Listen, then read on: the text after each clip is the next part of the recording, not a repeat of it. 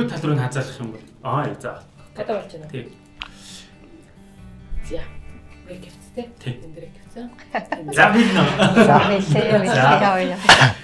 Яг төвшөөр арах гэсэн чи камер тэглээ гэж харах. За за миний яриг хэлэх юм уу? Өдөө тэгээ би нэг хэлчих. За тэг. За сайн байцгаана нөгөө манай хосын жаар хэлж байна. Өнөөдөр анх удаа би хэллээ. За. За тэгээ өнөөдрийн маань зочид бас маш онцгой зочид оролцож байна. За ямар зочид вэ гэхээр та бидний шимтэн уншдаг тэр сайхан номнуудыг бас бидний хүргэж байгаа нэг сайхан гэр бүл манай хосын жаараар оролцож байна. Ямар ямар ном бэ гэдгийг одоо яриан дундуур гарах бах. Аа эхлээд танилцуулчих тий. Тэгээд өнөөдөр маань хос өөртөө бас үзэгчдэд зориулаад танилцуулъя. За гэрээ хийснээс. Чи юм хавар сууж байгаа чи хэлж болох юм шиг. Хамаагүй шүү дээ. За намайг гав гэдэг. Аа. Одоо энэ Grand Book Publishing компани дээр гэр бүлийн харгуунтай хамтрал ингээл ажил явж байгаа. Энэ л нэг жирийн нэг залуу байна. Тий, тэгээ яг таашдаас баярлалаа тий. Ингээд тосын жордоо оролцоо. Тэгээ бид хоёрын хувьд болохоор одоо нэг бүр төгс олцсондоо ч юм уу те мундаг олцсондоо одоо оролцож байгаа гэж бодохгүй байна те бас л суралцаал явж байгаа одоо залуу гэр бүлийн төлөөлөл алдаж оноол явж байгаа тэгэхээр нөгөө энгийн нэг кейс бас хүнд хүргүүл бас гоё яадаг гэж одоо сонгогдсон байх гэж бодож байна шүү дээ тий. Тэгээд битэр бодлохоор одоо Grand Book Publishing гэдэг ном одоо publishing-ийн салбарт бол ажиллаж байгаа. Аа тэгээд 3 жил болж байна яг ажиллаа эхлээд. Тий. Тэг яг энэ ажил маань бол битэрийн бол яг уналттай үеэс гарч ирсэн ийм ажил байхгүй. Тэгэхээр яг явцын донд яригдах холгоо дээ тий. За таны нэр хэмлээ та нэрээ компанид хэлчихлээ. За гэрэлмаа дөрхөөгийн гэрэлмаа дээ битэр бол хоёулаа ховдих. Тэгээ ховд аймаг төрж өссөн юм хүмүүс аа. Тий. За тэгээд үзэж байгаа үзэгч та одоо яг сүүлийн үед уншиж байгаа номоо нэг хараараа тэн дээр Grand Book Publish гэх байх юм бол за энэ хоёр сайхан гэр бүлийн маань одоо танд зориулан хэвлэж өгсөн ном одоо таны уншиж байгаа ном юм байна гэж ойлгоорой. За юу яг үндсэн асуултаа орохоос өмнө за таны нөгөө ном хэвлэж байгаа компани маань хамгийн сүүл яг ямар номон дээр одоо уншигч бидэнд одоо зориулан ажиллаж байна? Ямар номыг гаргасан бэ? Тэнцэнээс Тэгээ сүүл гаргасан. Одоо нэг уран бүтээлчтэй чинь сүүлийн үеийн уран бүтээлгээл асуудаг шүү дээ. Тэр тооёроос бас яг энэ ямар номыг бидэнд уншигч бидэнд одоо яг хэвлүүлсэн бэ? Одоо нууц биш бол ямар номыг гаргах гэж байна? Тэрнээсээ нэг товчих юм. За манайх болохоор хамгийн сүүлд 10 сарын сүүлээр 20 гаргаад Манлайлын шилжилт гэдэг ном яг худалдаанд гаргасан. Тэгээ энэ болохоор нөгөө Джон Максвелл гэдэг те дэлхийн хэмжээнд бас менежмент одоо энэ бизнесийн салбарт бас нэлээд дажгүй сайн бүтээлүүдээ гаргадаг энэ бестселлер зохиолч хамгийн сүлд гаргасан номыг албан ёсны орчуулгын эрэхтэр гаргасан. Тэгээд энэ ном болохоор тухайн зохиолч байгаа хамгийн сүлд гаргасан ном. Тэгээд 2019 он 19 оныхоо 2 сард одоо англи дээр гарсан байхгүй. Тэгээд монгол дээр болохоор яг 8 сарын дараа монгол хэл дээрээ гарч байна гэсэн үг байгаа. Тэгэхээр бидний хувьд болохоор барьж авдаг нэг зүйл хэмлэрээс бол оюуны бүтээл учраас бид нүрийг заавал эрэхтэй гаргадаг. Албан ёсны эрэхтэйгээр энэ нь бол буцаагаад бид нүрээ мэрэгжлийн ёс зүй те ийм зүйлээрээс зөв манлайлагч байх юм. Тэр нь орчуулга маш сайн байх гэдэг дээр бас нэлээд хатуу байр суурьтай ажилтдаг л да. Тий. Тий, тэгээд бас нэг юм нөгөө нэг редактор бас чухал чухал тий үсгийн алдаа, найруулгын алдаа гэл юм бидэн штэ тий. Тэн дээр манайх бас сайн гардаг тий. Яг хөө мэдээж та ажил хийж байгаа юм чинь хаяа нэг жижиг сажиг алдаа гарна гарна. Тэгээ тэрийг бас үгүйсгээ арахгүй. Гэхдээ алдаагаа давтахгүй нь чухал гэж боддог шүү. Тэгэл уншигчд ингээл шүүмжлээл юу гэдэг алдаа оноо хэлээд өчтдөг. Уншигчд бид нар бас та бүхэнд бас ингээд яг тэр алдаа оноог ажиглаж хэлж өгч бас компани үйл ажиллагаа цааш цаашдыг хийх маш том нөлөөлж байгаа шүү дээ тий. Та бүхний хэвлж гаргасан өглөөний гайхамшиг тэр мятар шүү гэдэг номнуудад бид тэр манай гэр бүлд бол хамгийн их нөлөөлсөн ном. Тэн дээр явж малаалаа гэж явж байгаа шүү дээ. Тэгээд одоо ер нь дандаа л танаа номнуудыг сүүлийн үед бол маш их уншсан. Тэгээд та бүхэнд бас маш их баярлалаа. Манай гэр бүлд аягүй их нөлөөлж өгсөн. Хамгийн их таалагдсан ном маань. Номоо дуугүй гэдэг ном. Дуугаа. Дуугаа гэдэг ном. Хамгийн таалагдсан. За баярлалаа. За за юу хосын жормон бол үндсэн нэг 5 6 асуулттай байгаа. За тэгээд тэр асуултанд хоёр маань хариулснараа ерөөхдөө бол бид бүхэн одоо та хоёрын маань бас хосын жорыг бас мэдэж авах юм аа. За тэгээд хамгийн ихний асуулт бол а та хоёр маань анх яаж танилцсан бэ? Тэр танилцсан түүхээ нэг эргээд нэг хуваалцахгүй юу те? Хичнээн жилийн өмнө тэгээд бас нэг гэрт ороод одоо хичнээн жил болж байна. Аа. Яг за би ярьж байна. За энийг би ярьж байна. Аа битээр болохоор чинь яг танилцсанаас хойш 7 жилийн дараа яг гэр бүл болж байсан аль биесаар. Тэгээ би одоо намайг 20 настай маа нөхөр чинь надаас 3 ах л та. 20 настай ах танилцаа. Тэгээ 27 одоо хоёлаа гэр бүл болж исэн аахгүй. Яг тийм донд нөгөө одоо илүү төлөвлөлттэй бас ингээд мэрэгжил боловсралтай сургууль соёлоо төгсөө. Дээр нөөцтэйгээ бас бэлтгэе. Орон гэртээ болж яаж бас үр хөвгт гаргаж гэдэг юм уу. Иймэрхүү нэг юмнууд явж байсан. Тэгээд танилцаал 7 жилийн дараа би одоо 27 настайдаа гэр бүл хормоо хийжсэн. Зүгээр яг энтэй холбоотой нэг хөвгчлээ юм их юм бол би ч нэг айлын баг нахгүй. Тэгээд манай авчаа бага охиноо үнэтэй хүндтэй өгнө гээл. Тэгээ баруун аймгийнх ч айгуу тийм ёс жаягтай штэ. Тэгээ сүү адаг авах болоо тэгсэн чи ярьж байгаа л мэдээж өдөр содор тохирол сайн өдөр өгсөн. Тэгсэн чинь байжс чи манай хүн ярьснаа хүүшээ сүү адаг буцаацсан гэж байна гээл тий. Сүү адаг авахгүйгээ буцаацсан гэ би ч өөр ингээ шокнд ороод юу вэ? гэл. Тэгсэн чи ээж руугаа ярьж байгаа байхгүй аав руугаа ярьж чадахгүй бас. Тэгсэн чи аав одоо яасан яагаад байгаа юм гэсэн чи харин тэ энийг зөрүүд өвөн чи явуулч. Аюу би гоогаад байсан. Тий би бүр гайхсан. Тэгээ яа. Гуугаад очилаа юм л та. Гуугаад аюу энэ чинь гоо юм болж байгаа шүү дээ. Өчнөө хүмүүс өглөө цуглаал бүх юмаа бэлдээл хадмууд ингээл атсан чи буцаагдцсан бүр ингээ шоконд орж байгаа. Тэгээ ээж би одоо тэгээ яах вэ дээ. Тэгээ би тэгж байгаа байхгүй. Тэгсэн чинь тэгээ ээж за би нэг яриа гээл. Тэгжээс нэ дахиад хүрээдэр гэж байна. Тэр өдрөө. Өгөө өгөө. Дахиад өдрөөс судар ингээд харж байгаа дахиад очиж байгаа. Тэгээд яг хуу буцаад ингээд бодохоор бас аавын зөвч байсан юм шиг тий. Айгуу гой. Буцаад тэр үедээ нэг асуудал юм шиг боловч буцаад бодохоор айгуу үн хүндтэй очсон. Харин тий амар гуйлгаж очиж байгаа байхгүй. Тэгэж байжсэн. Битэрийн явдал. Тэгэж гэр бүлээ гэлчихсэн. Нэг одоо 2000 6 онд яг хурмаа хийжсэн. Тий 20-ын арданд ороод тий. Тэгээд яг гэрэлтэй батлуулж байсан. Одоо ч 13 жил болсон байна. Хамт амьдраад тий гэр бүлэлээд танилцсанаасаа гэх юм бол 19 20 жил байна. 20 жил тий. Нэлээ судлсан. 7 жил суулж яг 7 жилийг Тэгээ тэр нь ч бас зүг байсан юм болоо гэж боддоо штэ. Тэгээ нэнийг нөгөө таних. Тэгээ яг яг за гэр бүл олё гэд нэг гэрт амьдраад яг нэг гэрэлтэй батлуулахаас өмнө нэг жил бас хамт амьдарсан. Тий. Тэгээд бас илүү бас бат бөх гэр бүл үнцэх тий. Тий. Сүрэн байсан болов гэж бодож. За тэгээд 7 жил сайхан үерхэд нөхөрлөөд за тэгээд 7 жилийн дараа ингээд бэр гуйлгаа тийм хүндтэй хүндтэй очоод яг ингээд хурмаа хийгээд тэр хурмын ордоор дээш ингээд алхаж исэн тэр мөч бол хизээч мэдээж мартагддаг байх. Тэр үед яг юу бодогдчихсэн? Тэр хоримын амлалт өгч байх тэр үед яг юу бодогдчихсэн? Тэрийг нэг хуваалцаач. Тэг гарын өсөх зурагч амар юм лээ шүү дээ. Тэр ястай угаасаа одоо тэгээд амлалтаа өгөөл гарын өсөх зурж байгаа юм шиг тийм. Аа. Тэгээ тэр нөгөө бас гоё юм билий. Ингээл айлын охиныг чинь нэр хүндтэй аавн тэр гэдэг чинь бас өөрөө бас бахархалтай байгаа байхгүй юу? Дараа нь тийм найз нөхд ч юм уу би чамаа ингээд нэр хүнтэй авч ирсэн. Нэр хүнний хувьд бас тэр чинь бас бархал штэ. Тэгээд хөрмийн ордонд ороод нөгөө юу асаадаг штэ.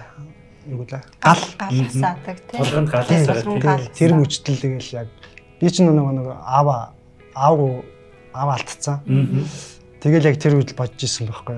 Яг нь энэ зүгээр миний сэтгэлийн өөргөр л ярих гэдэг юм. Аав нь байсан бол гэдэг чинь бас нэг тийм бодол төрж исэн. Тий. Гэхдээ би нөгөө аава би ингээд нэг эхнэр авч шүү гэдэг гэр бүл тийм юм бол бас ингээд яг тэр үед бодогчсон байна. Тийм надад байсан тийм сэтгэл зүрхэндээ тийм.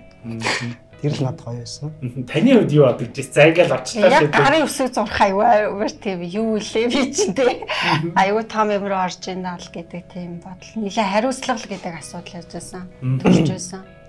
Тэр чи одоо өчнөө бол ах トゥ төрөл садны өмнө те одоо бүхэл бүтэн нэг гэр бүл бий болгож जैन дахиад үр хөвгтөө олно. Хариуцлага л аюу ингээл толгоонд ингээл орж ирж байсан. Тий, тий.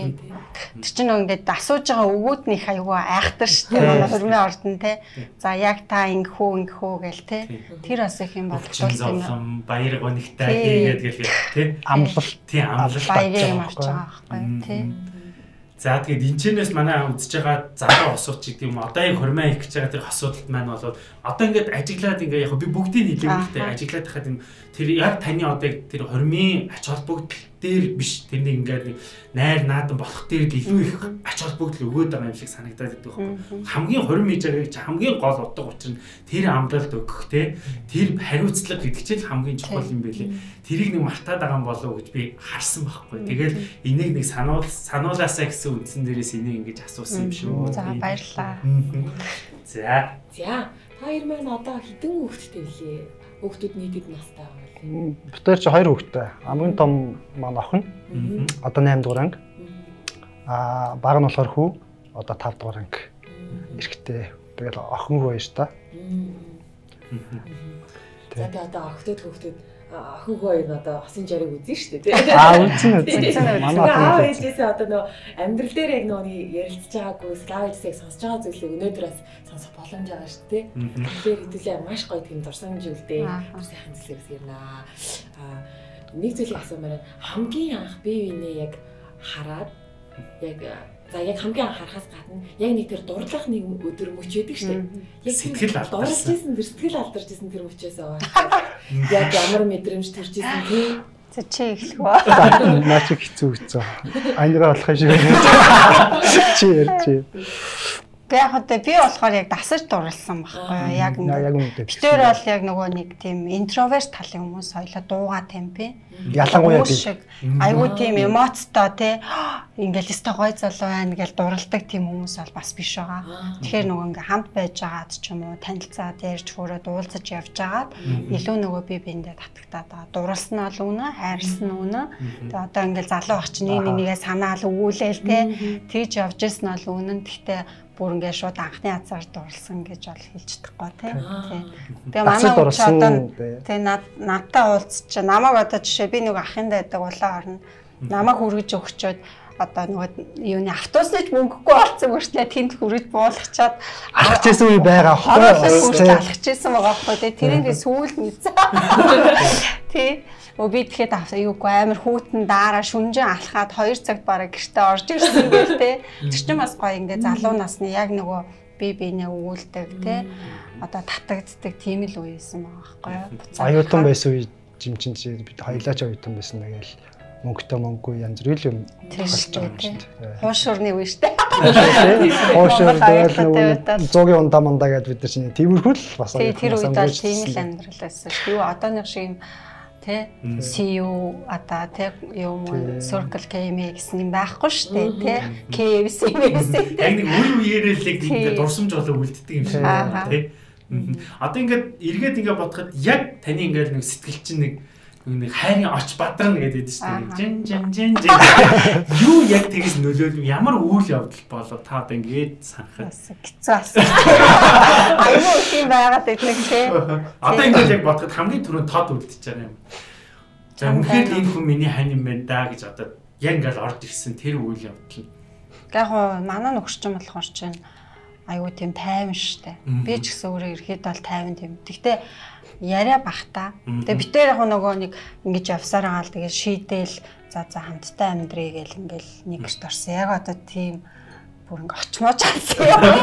Шууд санахгүй байна. Яг үнийг хэлэхэд бол тэгээл бүхэл юм нь гоё исэн. Тэгээд мэдээж одоо болон бүтнэ гээл одоо маш олон жил харж би би нэг ажиглж те яг л одоо хамт амьдрах хэвээр байна гэж бодож шийдвэрээ гаргасан гэж бодоод ш те. Таны хувьд яг тэр юу байна уу бас Авсан чинь. Яриул бүр амар онжгоотой. Тэр дурсамжийг л би бас сонирхоод байхгүй. Яа, юу л та Тэр үе чинь нөгөө нэг одоо эндээс ховд руу ингээд нэг бараа мараа жижиг сажиг юм явуул заруулдаг үе байсан байхгүй юу? Тий, тэгээд манай ах ихнэр бас нэг тиймэрхүү юм зардаг байсан. Тамиг. Тэгээл нэг тэрнийг нь би нөгөө нэг хамт авч явуулах гээд авчаа тэгээд ахынд нь хүргэж өгөөд тэгэл хараал тэгэл сэтгэл алдсан. Тэгэл тэрнээс хойш уулзаал тэгэл за миний ихнэр юм байна. Тэгэл нэлээ олон жил үргэсэн мэтэр чинь тэгэл гэр бүл болол тал явж ин да. Аа бас нөө хосууд ингээ эргээд хандхлаар хамгийн дурсамжтай үе нь ер нь яг ойролцоо яагаад гэдэм блэ. Гэтэ бид хоёр санаа өгөхгүй. Хоёр яг хамгийн дурсамжтай яг одоогоос ингээд эргээд харахаар хамгийн сэтгэлд нэрсэн. Одоо тэр үерч байгаа хугацаанда тий. Энэ бол яг хийх хосод хэлэхдээ дандаа үерчжсэн анх хэлчихсэн үе хэлдэг юм лээ. Айгуу сонио тий. Яг го битэрийн хувьд болохоор ч нөө анх миний хувьд болохоор нөө охин охиноо яг төрүүлчихэл гэртээ гарцсан. Тэр үе нөгөө одоо залуу хүний хувьд ч зөө төрүүлт айгүй амархан гэж бодцсон. Тэгтэл яг төрөх процесс мань айгүй хүнд байгаа л би айгүй хүндрэлтэй төрчихсөн байхгүй. Тэгэл маш ядарсан. Тэгэл яхад манай хүн чинь шууд ингээл нөгөө сарын ээлжийнхээ амралтыг аваад ерөөсөө сар ерөөсөө намайг гасарч байгаа байхгүй гэртээ. Тэр үйл надад одоо айгүй гоё Тэ. Би ч баг мөвлөхөж ингэж тэ баг 0 майлж орчдох аюу хүндрэлтэй хэцүүсэн. Тэг чи охноо усанд оруулаад миний хоолц өдөрт баг хэдэн хоол цай хийгээл тэ. Тэг хөхүүлэн чай бэр иддэг шүү. Тэ. Идэл унтчих та одоо намайг унтуул гал хүүхдээ аваал тэ. Тэр үйл одоо яг ингээ буцаа ботхоор хамгийн тэр нөгөө хэцүү юм шиг мөртлөө хамгийн одоо ажиргалтай ч юм уу би бинээ илүү одоо тэ нөгөө сонголт нь жишээлбэл зөв байсан ч юм уу тэрийг мэдрэх тийм үе юм болол гэж бодож шин. Чи гэж бодож байгаа? Яг миний хувьд болохоор ийм л юм аа л да. Нөгөө нэг анги би ч нэг оюутан байж хата манайх ч нөгөө яваа аяллаа энэ гээл явдаг. Тэгэн удаа яагаад ч мэдгүй ханийгаа дагуудад очсон байдаг байхгүй? Тэр явгаа аялал. Тий, явгаа аялал нь. Тэгээл нөгөө нэг бас нэг юм нэхэр нөгөө шинжил болдог. Яагаад ч юм би одоо гэрэлмаг дагуулаад шинжилд орцсон. Тэгээ тэгэхээр бит бүр бүр одоо юу гэдээ одоо бүр нэг цаанаас бүр ингээд одоо ангийн манай ангийн хөгжиг шинжилд орцсон. Манай ангийн хөгжиг аялд явцсан. Орцсон. Тэгэхээр бүр ингээд бүр одоо юу гэдээ одоо бүр цаанаасаа л бүр ингээд юу ч юм шиг надад санагддаг одоо бодохоор цаана хийсэн үйлдэл нь битггүй тий. Тэрийг одоо юу гэж хэлэх гээд юу гэж хэлэх одоо мэдэхгүй л байна шүү дээ. Энэ бол цаанаас л нэг ингээд нэг учрах ёстой. Учрах ёстой байсан болоо л гэж боддөө шүү дээ, тий. Би ч бас яг дэлгүүртэй ингээд анх ингээд бас ингээд бодохоор тэр чи ингээл анх ингээл тэр нэг сургууль дээр таарлж исэн байдаг. Ингээ бодохоор яа харахгүй л ингээл цаанаасаа нэг учруулах гад, уулзуулах гад нэг хувь тавилын жис байдаг юм шиг. Энэ тайраас бас тэгж асуумаар санагдаад байдаг байхгүй хаана яаж уулзсан яаж яг танилцсан гэдэг. Яг тэгж асуумаар санагдтыг. Яг ийм бодлыг ер нь ирчүүд бид нар аяг их боддог юм шиг байна. Би л яг юм боддог. Тийм дэлгөөндөө боддог юм шиг. Та бас тэгж юусоо боддог юм шиг. Тийм ирчүүд бид нар аяг их ингээл ингээд бодоо за уулзахад ёстой байсан юм байна да гэл тийм. За за. За тэгээд би нэг асуудаас энэ асуултыг асуух аяг дуртай. Яагаад гэвэл энэчнээс олон асууд сонсоод урам аваасаа зөндөө олон асууд амьдралд нь алдаж онох онох бас зөндөө зүйлсээ тохиолддог. Тэгээд хоёрын маань амьдралд хамгийн хүнд хэцүү үеуд нь хизээ байсан юм болоо. Тэрнийг бас өнөөдөр мэдээж даваад гарчихсан энэжээ ингээд сайхан бид нар нээлтээр ярилцаа сууж байна. Тэгэхээр өнгөрсөн болсон зүйлүүдээс харж байгаа хамгийн одоо шантармаар хэцүү байсан тий. Гэр бүлийн хувьд эсвэл хавсан ярилцааны хувьд ч юм уу. Тийм байсан үеэсээ дурсвал. Тэгээд тэрийг давж гарахад юу яг юу нөлөөсөн бэ? Зам нь юу исэн бэ тий? Тэндээс бас ингээд бид нар асуулцмаар байгаа байхгүй тий? Одоогоос 3 жилийн өмнө бид нар ч одоо энэ ном юм хийсэн гэж байгаа шүү дээ. Тэр үе чи яг битэрийн уналт байсан байхгүй юу? Яг үнэ хэлэхэд нэг байгууллагад байжгаад хоёулаа нэг өдөр ч юм уу баг ажиллах ажилгүй болоод. Тэгэхээр чин бит хоёр чинь яг тухайн үед чинь нөгөө байрны зээлтэй машины зээлтэй. лизэнтэй яг тэрнийг ингээ төлөө өгч байсан үе. Ингээд нэг өдөр байхгүй болгож чинь шоконд орж байгаа байхгүй. Тэгэл хоёлаа одоо яах вэ ихүү? Гэл? Би ч өөр яг нэг банкны удирдлагаар төгссөн банк нэг 4 5 жил ажилласан байсан. Тэгэл хоёлаа боцоо ярилцсан. Манай хүн бол нэг шийдэхээр эргэж буцдаггүй хүн байхгүй юу. Тэгэл нэг компани асуудал гараад манай хүн за би гарлаа гал гараа авчихсан. А би болохоор нөгөө нэг төлбөр тооцоо ямар юм хариуцдаг байсан болохоор нөгөө тийм ингээд шууд хайж явж болохгүй бас нөгөө таньдаг хамаатан садаг хүмүүс ийсэн. Тэгээд нөгөө тэн ингээд жигдрүүлээд хүлээлгэж өгчөөд сар сар боллоо да. Тэгээд гарсан. Тэгээд хоёлаа тэр хооронд ярилцж байгаа юм чи. За хоёлаа юу хийх хийх үү? Нэгэнтэй л бас нөгөө яг тэр бизнес маань номын бизнес байсан болохоор баг сах туршлага бит хоёрт хөндлөгдсөн байсан. Тэгээ маань хүн манай хүн тэгж нэ хоёлаа яг энэ юм руу оруулах яасан ингээд. Тэгэл эхэлж байсан. Тэгэл эхэлсэн. Тэгээ тэр үед болохоор ч одоо яг залуу гэр бүлийн л яг одоо өнөөдөр явж байгаа жишээ байгаа байхгүй. 520 мянган төгрөг байрныхаа лизинг төлдөг. 210 мянган төгрөг машины лизинг төлдөг. Яг л юм нөгөө цалингаас цалингийн орнол гэр бүл байсан маа. Тэгээд яг би болохоор ерөөсө тэр нөгөө юугаа давж чадахгүй шууд маргааш нь ч юм уу нөгөө ашиглал гээд өгцөн. Тэгээ эрэгтэй хүмүүс ч юм болохоор тэнээр бас их юутай байлаа шүү дээ. Төвчээртэй. Намааг одоо би ч юм болохоор орой олгомт л уйлаал. Йоо би одоо яа тэгчээ гэл уйлаал хямраал. Мөр чи юундаа уйлдээ одоо болно дээ. Чамааг уйлаад тахаар надаа асуу хэцүү юм гээл те. Мөр чи нөхөр болохоор төвчээртэй авсараа сар болоод хуулийнхаа дагуу ажлаа хүлээлгэж өгөө гарчиж байгаа байхгүй. Тэгээ ойлоо чинь ямар ч хураач хуримтлуулсан мөнгө төгрөг байхгүй одоо тэр 700 эдэн мянгаыг яаж төлөхийн цаана өдөр тутмынхаа зардлыг яах юм те. Тэгээд би болохоор нийлээ эдэн сар 2 3 сар ямар ч гэсэн гэртээ ажиллах байсан. Тэгээ манай хүн очих болохоор ч аюу мундаг нөгөө тэр үед л бас би аюу зөв сонголт хийсэн юм байна гэдгийг харчихсан байхгүй юу. Аа яасан гэхээр өглөө ингээл намайг ч юм уу бид гурыг унтчих. Өглөө бүр аюу их тосоол 6 цаг ч юм уу 6:30 дээр ч юм уу гараал. Нөгөө пүрүүс орой өмнө таксид явдаг. Тэгээд хідэн төгрөг олоод нөгөөдхөөрөө одоо нэг гурил аваад те ээжинд очиж одоо борцог хайрч ирдэг. Ээжтэй бол гэрийн борцог хариулдаг тийм үү? Тэгээд борцоо гэрийн борцог хариулж ирээд одоо тэргээр чи хоёлоо орлохгүй болсон чинь хийлийн борцог аваал те тансаг амт тэгж явах ямар ч боломжгүй болчихж байгаа байхгүй. Тэгэл цаагаа авал тэгэл олсон мөнгөөрөө махшуулаа авал орой ороод ирдэг те. Тэр чинь л яг уналтаа үед нөгөө нэг нэгээ түших тэрийг давж гарах юм том юу байгаа. Тэгээ нөгөөтгөндөө хичээгээд эхлэн чи миний тарих ажиллаад эхэлсэнтэй тий. Уйлаа суугаад байхгүй. Тэгээл анх хөөцөлт бол хамгийн анх би Малала номныхаа ирэх авчаасан. Тийм тэгээд би ажил хайж агаад нэг газар ажилд ороод тэгээд 6 сар үлээ 8 сар ажиллачаад би Америк яваад за ер нь би жоохон тэсэр өөрчлөлт хийе өөрийгөө өөрчлөе гэд нөхрөөсөө виз аваад виз авах ч бас хэцүү шүү дээ. Тэгээ хоёлаа ярьж агаад тэгээ би ер нь бол Америкт мастер одоо сурахаар ингээ гэр бүлээр очивол болох юм уу болохгүй юм уу? Хөрсөн дээр нь судлаа дунд нь орё гэд яваад. За ер нь бол бидний хувьд бол Монголтой байсан илүү дээр юм байна. Гэдэг шийдвэр гаргаад тэгэл ирээ шийдэл за одоо би бол ерөөсөө энд тэнд бол байгууллагад ажиллахгүй. Хувийнхаа амир бол төвлөрий чадъя. Арт нь гарыг гэ. Тэгэл яг бүр ингээд шуурхаа яг 17 оны 1 сараас эхлээд яг 100% ингээд коллеж руугаа төвлөрөд эхэлсэн байхгүй. Тэгээ яг дунд нь битэр чинь би ч нөгөө хүний нөөцийн салбарт ажиллаж байсан туршлагатай. Тэгээ гэрэл партнерс гэдэг хүний нөөцийн зөвлөгөө хөшлөний компани байгуулад байгууллаа яг 3хан сарын дараа маш том төсөл аваад. Тэгээ яг хүн зөв бодолтой ахаар аяндаа ингээд гоё боломжууд өөрөө ороод ирдэг юм элэ одоо танил тал ч юм уу тийм байгаагүй яг үндэ зүгээр ингээд ороод ирсэн. Тэгээд айгүй том төслийн ард маш амжилттай гарч бас санхүүгийнхаа их усээр суурь битүүр тавьчихсан. Тэр санхүүгийн асуудлыг маш ерөнхийдөө тэгээд би болохоор санаа өндөрлөөс гаргаж өгсөн л доо. Тэгээд зөв бодол зорилготой зөв бахаар аянда хүний зам мөр аюу гой ингээд болчтой юм байна. Тэгээ нөх хүн хичээгээд ахаар аянда бас ингээд хичээл зүтгэлээ цаанаас нь үнэлдэм байна гэж бодчихлоо а яваад боц ойлгосон шүү дээ тэрнээс те. Ямар гоё түүх вэ те. Тэгэхээр одоо яг энэ хосын жорыг үзэж байгаа босууд бас яг ингээл одоо тойрын нөгөө өмнөх байсан тэр түүх шиг ингээл унчаад юу их юм мэдгүй яг юм байгаа бол сая гэрлэгч юм байна хэлсэн те. Ерөөсөө л хөдлөөд байх хэрэгтэй. Ерөөс зүгээр сууж тэгээ зөв бодолтой байх хэрэгтэй. Юм бол учир нь олно гэдэг чинь.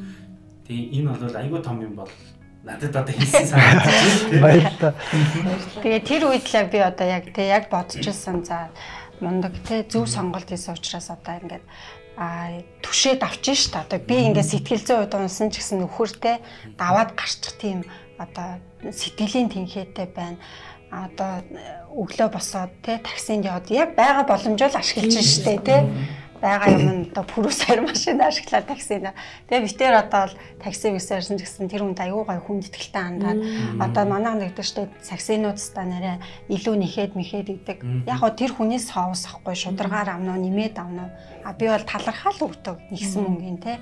Яагаад тэгэхээр битээр яг тэр одоо нөгөө тэр одоо таксины олсон мөнгөөрөө амьдарч яг ингэж байсан үе байдаг болохоор Бас л тэр хүн тэр мөнгийг олж амьдралаа залгуулах гал явж байгаа. Тэр хүн гэртээ суугаагүй. Тэ? Хичээгээд явж байгаа учраас бид нар бас тэр хүнийг үнэлж хүндэтгэж хүндэтгэлтэй харилцах хэрэгтэй. Ажил ажилгүй гэж гэртээ суухгүй байгаа хүн гэж одоо үнэлэхгүй. Тэгэж дээрэнгүй харьцахгүй. Зарим хүмүүс аймаг ингээл хүнийг дээрэнгүй харьцаал мөнгө төгөө шидэж өгдөг ч юм уу тэ? Битгий тийм юу гаргаасаа хүн л бол хүн бүгд л амьдрах гад явж байгаа гэдэг байдлаар хандхыг хичээдэг. За Арай л ихээр Тэрээс нэг уягдуулаад нэг яг нэг хүн яг өөртөө нөгөө биеэрээ Мэдрэхээр тэр хүний нөгөө ажил мэргэжил цавлангууд бүх юм илүү ойлгох юм лээ тий. Битээр ч бас яг ялгаагүй нөгөө шивэд тахта буудалд ажиллаж үзээд буудлын цэвэрлэгийн дээр явж үзснийхаа дараа амар ойлгоод тэгээд тэрнээс хойш өөр газар буудалд очихаараа гарахаараа энийг нь ядаж цэвэрлээд энийг нь ингээд тавьчих. Яахт намар, ингэхт намар гэж өөр ирэхгүй яг ингээд тусалчихсан яг энэ хүн жаартаа ингээд ингэж ингэж ажилдаг ядардаг юм байна гар нь өвддөг юм байна гэдгийг ойлгож авч ирсэн тийм ядаж битэрийн одоо тэ тэр өрөөнд орсон тэр цэвэрлэх гээд ороход ядаж гар нь амраад тий гар идэг гэж одоо битэр тэр чинь ингээд нөгөө хүнслийнхаа даавыг салгаад тавьчихад нэг тийм юм байхгүй шүү дээ тий Тэмэр юм байна. Яг өөрсдөө даунууд гөгнүүлээд аваад явах юм бэлдээ тавиад бусдын ингээд системэнд бэлдээд тавьчихсан Мундаг биш таа тий. тий бас энийг бас сонсож байгаа хүмүүс байх юм бол тэр цаанаас тэр усууч ямар их ядарч гар нь өвдөж ажилдаг гэдгийг тий ойл нөгөө биеэр мэдсэн учраас тийм үйл хийгээд байгаа. Ер нь бол тий. За дараагийн нэг асуулт. За дараагийн асуулт нь болохоор за ингээ хэцүү байсан үеэсээ даваад гарлаа тий. Давж гарсны дараа жаргалтай үедээ би юундээ яаж хэрхэн одоо цаг гаргаж гинэ. Жаргалтай болоод одоо ажил ихтэй болоод ингээл хүмүүс чинь амьдрал зөндөө тохиолдол гэтэл нөгөө нэг асуудал маань бие биентэйгээ нөгөө болцох, бие биентэйгээ нөгөө хайраа өргөлөөж ургуулж, цэцэглүүлж авч явах. Тэр тал дээр болохоор ямар арга хэмжээ авч гинэ. А бидний хувьд болохоор яг тэрийг заримдаа зохицуулж чадахгүй ингээл Ажил ажил. Нэг юм а балансилж чадахгүй хитрхи их одоо нөгөө жаргалтай байгаад баярлал ажил амжилттай байгаад ингээ өнгөт ажилдаа их анхаарлаа хандуулчихдаг. Нэг мэдсэн чинь нөгөө гэр маань эсвэл хүүхд маань нөхөр маань хөрөгдсөн ч юм уу. Тийм юмнууд анзаардаг гэдэг. Та хоёрын хувьд. Яг наа чинь одоо л бид хоёр ярилцж байгаа яг үнэ яг тий. Бид хоёрын ажил болохоор ингээд яг одоо бүр ингээд бүрэн зэгцэрсэн ч юм уу бас биш байхгүй юу? Ер нь бол ингээд харахад яг ингээд зэгцлэгээл явж байгаа. Тэгэл манай хүн хэлдэг байхгүй. Одоо хоёул нэг кино маань үздэг нэг өдөртэй болъё гээл. Тий, яг яг энийг чинь яг одоо ингээд яриад байгаа. Ярилцаад шийдвэрлэх гэж явж байгаа тий. Тэгээд нөгөө таарын хэлдгэр нөгөө хүүхдийн асуудал бас яг ингээд тоцорч байгаа байхгүй юу? Одоо яг хүү болохоор ба- бага анги болохоор ингээд болоод байгаа. А охин маань болохоор одоо ингээд өсвөр нас болоо очиж байгаа байхгүй юу? Шилжилтийн нас болоод тэгээд энэ дээр хоёр ярилцж байгаа сая нэг э, хувийн сургуульд өгсөн. Тий. Тэгэл яг таарын хэлдгэр одоо ингээд гэр бүлийн нэг өдөртэй болоод би явдаг ч юм уу нэг газар хоол иддэг ч юм уу номын сандаж ном уншдаг ч юм уу яг карапхи чинь гарах гал яриад сууд явж байгаа. яг тий ойлгосон тий. Ер нь бол бүтэнсэн өдрөг бол манайх бол яг манай ч өөрөөс аягүй гэр амтай. Одоо ингээд шоудад яваад байдаг хүмүүс. Ер нь бол нөгөө интроверт хүмүүс чинь дуугаа хүмүүс ч яадаг вэ гэхээр ерөөсөө нөгөө ганцаараа байж байгаа ч юм уу ингээд цөөхөлтнээ ажиж тэндээс урам зориг ирчвэж асуудлаа дотроосоо шийддэг. А экстраверт хүмүүс болохоор аль болох олон хүнтэй уулзаж, наригд сэнгэж тэндээсээ кайп авдаг. А битэрийн нэг давуу тал гэх юм бол яг интроверт талын хүмүүс байдаг. Хоёлаа гэр бүлсэг Тэгэхээр аль болох бүтэнсэн өдрийг яг хүүхдүүдээ гоё өглөө ирчихсэн цай олоо уугаа те Э, тэгж өнгөрөө хичээдэг. Тэгээ сүүлдээ болохоор бид тээр яриад ер нь бол аялал аягүй чухал юм байна. Тэ гэр бүлэрээ жилдээ нэг удаа ямар ч байсан мөнгө төргөө сэвэлж агаад тэ санхүүгийн одоо сахилах баттай байж агаад хүүхдүүдэд аваад газар үзүүлье. Энэ бол муухан боловсрлоос илүү дээр зүйл юм байна гэдэг. Тэгээд энэ жил бид тээр 6 сард Европ руу аялал хийсэн. Тэгээд 5 орны 6 хотоор хүүхдүүд аваад 12 хоног явчаад ирсэн. Энэ бол бас нэг том битэрийн хувьд бол том алхам. Яг ажил ихгүй, яг хүүхдүүдтэйгээ ярилцаад гоё орчин нөхцөл үзүүлээ тэр хүүхдүүдийн нүдийг нээ те. Ам дэлхийн ертөнцийн ийм байд юм байна. Би ийм зам зоригтой ах хэвээр байна гэж бодолтой болог гэж бодож авсан хгүй. Түүнсэж өө Монгол ийм гэдэг биш те. Илүү өргөн хүрээнд хараасаа, илүү өргөн хүрээнд зорилгоо тавиасаа гэж бодож аялсан. Тий. Яг аяллаа дараа танаа гэр бүл одоо гарсан өөрчлөлт яг юу? Мэдээж тэнд бол өөрчлөлт гарсан байх тий. Үзэл бодлын хувьд ч юм уу гэр бүлийн харилцааны хувьд тий. тэгэхээр энэгээр л хамгийн гол нь аял аял аялахын зөв юм байна гэдэг сонголт бол хамгийн зөв. Битээш гэсэн яг тэр мээр мэдсэн тэр өөрчлөлтийг та нэг хэлээч Яг гоо битээр өмнө нь болохоор өнгөрсөн оны 11 сард 10 сард битээр Европ явсан байхгүй. Одоо олон жил хоёлаа гэр бүл очиж ерөөсөө тэгж явж байгаагүй. Санхүүгийн боломж нь ч яг үндэ байхгүйсэн. Тэгээд тэгж явж байхдаа м, манай хүн болохоор За ер нь дараа эрэхтэй хүүхдүүдээ л авчраа. Энэ Европ бол үнэхээр гоё соёлтой, үнэхээр гоё газар байна. Ямар ч байсан энийг үзүүлээ дараа нь хүүхдүүдээ л авчрах хэрэгтэй байна гэд. Чиний хувьд одоо Европ явж байхад ямар юу гарчаасан? Аа над би чинь баг Улаанбаатараас гарч үзээгүй юм шүү дээ. Тэгэл анхчийн Берлинд очиж исэн. Үнэхээр гоё. Цаг агаар тэр хүмүүсийн тайван байдал Ста үнэхээр гоёсэн соёл, хоол, яг надад үнэхээр гоё таарч байгаа байхгүй юу. Тэгээд яг эхнэрийн гэлдгээр дараа хоёлаа хүүхдээ авч явъя гэд тэгээд авч явсан. Аа тэгээд сүүлчм тэр хүүхдээ авч яваад манай хүү тэгж байгаа байхгүй юу. Одоо нөгөө бид нар ч Стамбулаар дамжиж явах гээд Бишкек дээр буугаад нөгөө дараачихан хосгөлөөгөө сууж хат нь манай хүү ингээ гүүж чинь тоглоом дээр байгалда тоглоом дээр тоглож исэн чинь гадаад хөвгт төрж очиад суугаад тоглож байгаа байхгүй. Тэгээ нөгөөх нь ингээд манай хүнтэй юм ярих гэдэг. Манай хүн нөгөө хэлийг ойлгохгүй. Тэгээ дараа нь тэгж байгаа байхгүй. Ирчээд аава хэл англи хэл сурахгүй ерөөсөө болохгүй юм байна. Хүүхдийн хэл ойлгохгүй юм байна гэдэг. Тэгэхээр тэгэхээр эн чинь ингээд хүүхдэд бас цаагаараа нөлөөлж юм гэж ойлгож байгаа байхгүй тий. Тэгээд бид нураар хилүүлдэхүү тэр хүүхд өөрөө өөрөө ингээд толгоонд шингээгээд авчиж байгаа байхгүй тий. Тэгээд тэр үгийг та хэрвээ хүүхдээ хэлсэн бол тэр үед одоо ойлгохгүй шүү дээ. Ойлгохгүй. Яагаад ч ойлгохгүй.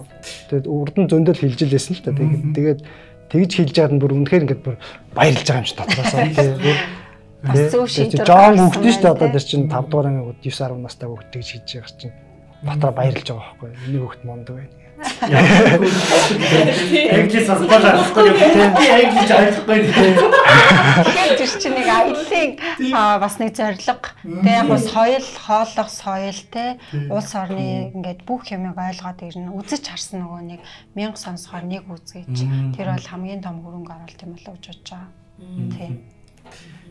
Тэгээд би яг сүүлд нөгөө сая Америк яваад ирсэн л дээ сайхан дээ. Тэгээд аяллаас ингээд өгнөөр нөхөртөө ирээл хэлж байл. За ерөөсөө л хоёлаа эрүүл байх хэрэгтэй байна. Одоо манай гэр бүлийн хамгийн чухал зүйл бол те эрүүл зөв хооллох хэрэгтэй байна. Хаяада нэг цагаан хоол идчихдэг те. Эрүүл одоо жинтэй биеинж ингээ зөв баланслж явах. Тэгээд уртуудаа хугацаанд хамттай байх нь л хамгийн чухал байна. А тэгээд тийм учраас ажил амьдралын тэнцвэртэй байдлыг хангах болчихж байгаа байхгүй. Шийт их мөнгөтэй болоод нэг нь өвдөж мөнгөтэй бол бас хэцүү шүү дээ. Тийм үстэй тий тулгуургүй л болчихж байна гэсэн үг. Тэгэхээр тэр аюул чухал. Тэгээ хоёрт нь бол нэг хүүхдийн боловсрал. Тэр нь бид нар үйлдэлээрээ л үлгэрлэх ёстой. Тэгэхгүй аав нь тамиг татчаал миний хүү тамиг битгээ татах гэвэл яах вэ? Тий аюул утахгүй л болчихж байгаа байхгүй. Тэгэхээр өөртөө л аюул зөв бай гэдэг л тийм Ер нь бол айгу тайван гэр бүл штэ би тэр гэртээ одоо ингээл мэдээж дандаа гоё байхгүй штэ. Мэдээж.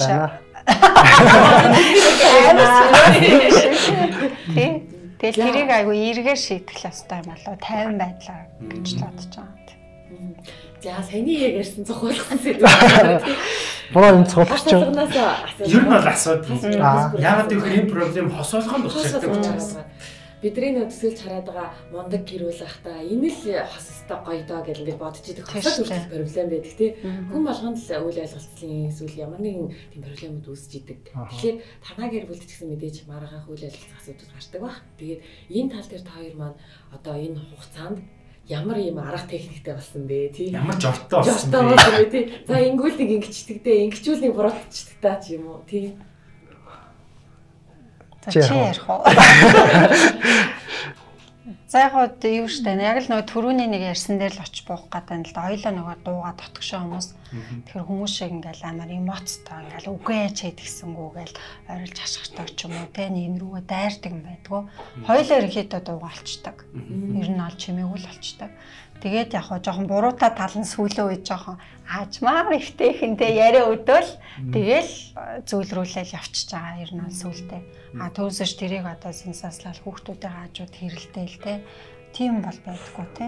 Тэгээ байхгүй шүү дээ. Юу л да би ч нэг банкнд ажилласан гэж ярьжсэн шүү дээ. Банкных нь уучлаарай гэдэг байхгүй.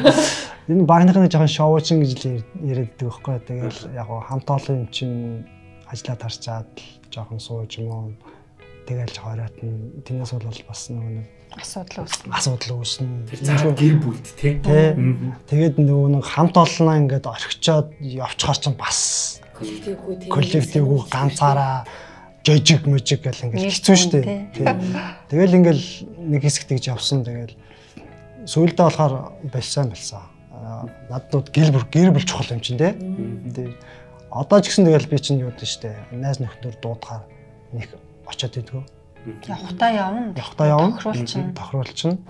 Аа ер нь бол гэрээ гэртээ орчих юм бол би ер нь баг гардггүй. Хинч залгсан баг гардггүй.